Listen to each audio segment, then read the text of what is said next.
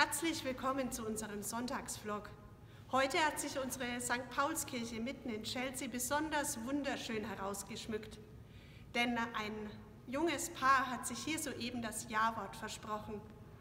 Ihr Trauspruch steht im Hebräerbrief im 10. Kapitel, Vers 24. Lasst uns aufeinander Acht haben und uns anreizen in Liebe und zu guten Werken. Dieses Motto kann auch uns gelten.